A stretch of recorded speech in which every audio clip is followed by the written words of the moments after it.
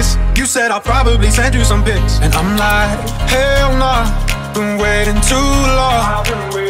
Hell nah, I want that. Hora de falar de desapego e quando a gente fala de desapego, é claro que a gente está falando em Laura Desapega RS. Gente, hoje nós vamos trazer um outro lado do desapego. Quantas pessoas, Laura, que se separam, não é? Que saem de um casamento e que não querem nada que lembre aquele casamento e querem passar por um ciclo novo e não sabem o que fazer com aquelas coisas para começar uma vida com sozinha ou com outra pessoa. Faz o quê? Bom, duas opções, ou várias opções, não é? Ou segura aquelas coisas que lembra todos os dias do marido, do ex.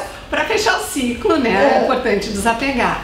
Bom, daí tem assim duas possibilidades no nosso trabalho. Uma é fazer a venda, tem bastante coisa no local, a gente faz a venda no próprio local, Tá. tipo garagem safe, Dá pra vender tudo. tudo, móveis, roupas, objetos, tudo que tiver. E uma outra opção não é a venda de tudo, mas a pessoa não tem uma casa inteira, ela tem alguns itens. Tá. Daí também a gente tem a possibilidade de compra desses De itens. compra dos lotes. Isso, e tira do local. Se interessa vocês, não Isso. é? O que no que que o Laura desapega? Qual é a situação que é mais procurado, Laura? Bom, ah, muitas vezes quando faleceu alguém da família, né, ou então pessoas mais idosas que estão indo morar ou numa clínica, Hum, e saem da, de uma casa que é um- grande, né, e daí a família quer desocupar para alugar ou para vender a casa. Ah, algumas famílias vindo de muda para fora do país também tem, tem nos chamado. Ah, e algumas coisas assim, tipo, ah, se separou, não sabe Não o que pode nem as ver mais essas coisas. né? Daí também, Tem ódio das coisas. E também tem casos assim, ó, de pessoas, a gente quando chega numa determinada idade, porque a gente começa com uma casa um pouco menor, depois vai aumentando em função dos filhos, e depois só fica o casal, Uhum. e quer também enxugar um pouquinho, não é? Tu tem a possibilidade de ir para uma coisa menor, levar algumas coisas que te interessam e tudo aquilo que sobrou vender, que são cobertas de mesa, vaqueiros, coisas que tu sabe que não vai usar mais, Isso não é? mesmo, isso tem acontecido bastante também, as pessoas fechando ciclos, saindo Sim, de casas simplifica, grandes. não é, a vida de Isso, novo. simplificar, isso aí. Né? Eu acho que isso é muito comum e daí muitas vezes tu fica até, tá, mas o que que eu vou fazer com tudo isso aqui? Uhum. Eu vou dar, eu vou perder, foram coisas conquistadas com tanto sacrifício, não é?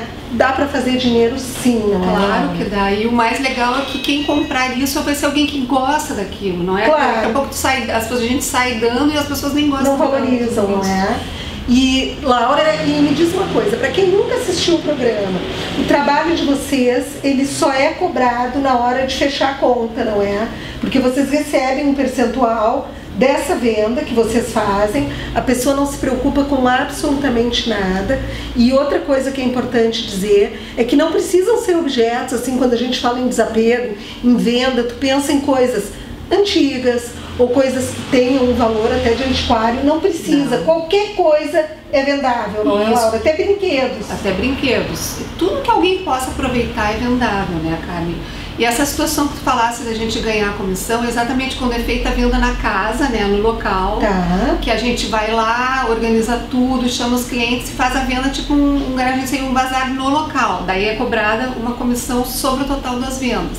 Sempre lembrando assim que a nossa, a nossa ida até a primeira ida até essa Hum. casa, que é possível fazer uma avaliação, não, é, não tem custo. Sim, ela é, Isso. é totalmente gratuita, Isso, não é? isso mesmo. A Laura Desapega também atende todo o interior, todo o litoral, ou seja, todo o nosso Rio Grande do Sul, e ela é a solução para quem quer desapegar, não é? Semana que vem tem mais.